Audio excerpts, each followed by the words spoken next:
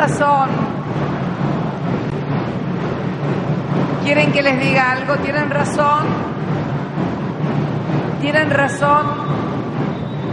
Tienen mucha razón. Tienen mucha razón en estar contentos, en estar alegres, en cantar, porque hoy es un día muy importante. Desde aquí, desde Ford Motors Argentina, acabamos de inaugurar en Las Lomitas, provincia de Formosa, allá en el norte, bien norte argentino, el primer radar 3D hecho totalmente en la República Argentina.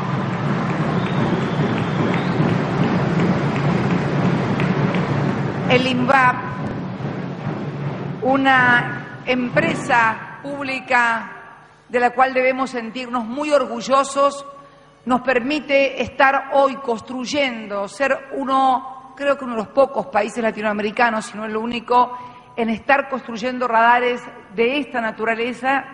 Ya llevamos 22 secundarios, 11 entregados y los otros 11 en ejecución y este es el primer radar primario. También el radar que acabamos de inaugurar en la provincia de Misiones y que nos permite, que es un radar eh, español que fue recondicionado también tecnológicamente para poder actuar, pero todo esto conforma lo que se ha denominado escudo norte de la República Argentina para precisamente cuidar nuestras fronteras. Ustedes no saben, cuando llegamos al gobierno, año 2003, eh, y luego cuando comenzó el gobierno que me tocó presidir en el 2007, siempre había problemas con todas las licitaciones de los radares. Ninguna se podía hacer, impugnaciones, denuncias de esto, denuncias de lo otro, hasta que dijimos, basta, no vamos a hacer ninguna licitación más, vamos a empezar nosotros a construir radares,